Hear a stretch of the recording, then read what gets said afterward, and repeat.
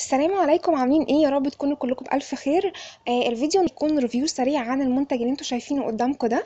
آه بس لو انت أول مرة تشوفي الفيديو بتاعي والقناة بتاعتي فأهلا بيكي. أنا إيمي من قناة إيمي. هتلاقي تحت الفيديو كلمة لونها أحمر كده اسمها subscribe أو اشتراك. دوسي عليه علشان تشتركي في القناة ويوصلك إن شاء الله الفيديوهات اللي جاية بعد كده.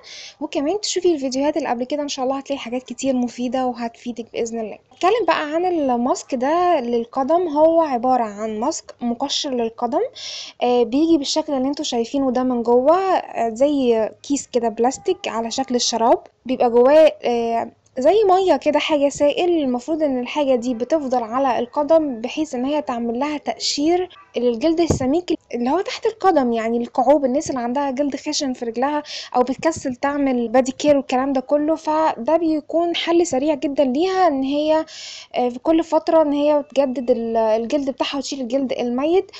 طريقة استخدامه سهلة جدا إن انت بتقصيه بالمقص من فوق وبعد كده طبعا بتكوني غاسله رجلك كويس جدا وبت وبتكوني منشفاها تمام؟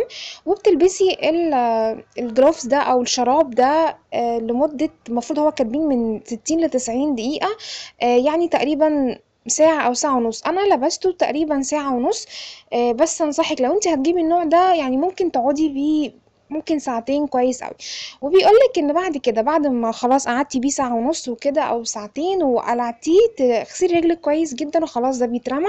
وبتفضلي من أربع لسبعة أيام هتلاقي رجلك بدأت تقشر من تحت آه وتطلع كل القشر الميت زي الصورة اللي أنتوا شايفينها قدامكم دي. آه تجربتي معاه بقى أنا ما لقيتش الصورة اللي أنتوا شايفينه ده أو الطريقة الجميلة دي اللي هي بتقشير كل الجلد الميت لأ هو تقريبا عمل ربع اللي في الصورة ده نصيحتي آه ليكوا النوع ده مش كويس لأنه خفيف قوي يعني ممكن يقشر حتة وحتة لأ ومش يعني وكمان الجلد اللي هو بيبقى خفيف جدا يعني مش إن هو ممكن مثلا كعب الرجل ممكن يكون سميك شوية فيشيل الجلد لأ خالص.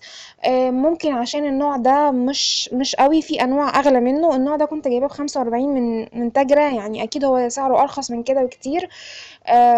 ف ما اظنش ان هو نوع كويس. ممكن لو انت عايزة تشتري تشتري نوع اقوى منه. هي الفكرة كلها حلوة ان انت تعملي تقشير رجلك بالطريقة دي فهي حلوة جدا وسهلة.